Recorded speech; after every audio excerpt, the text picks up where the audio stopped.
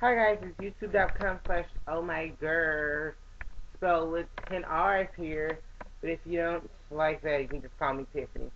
So, this video, I want to say this week, but let's be honest, I haven't posted weekly videos in a minute. This drawing is Kelly Osbourne, which you cannot tell from the title or when I edit the purple hair. Material you use are Sharpie and Prismacolors. If you enjoyed this video, stay tuned and subscribe to be notified when the next time I make another video. Other than that, I'll see you next time. Bye. I wish I had purple hair. There, out there.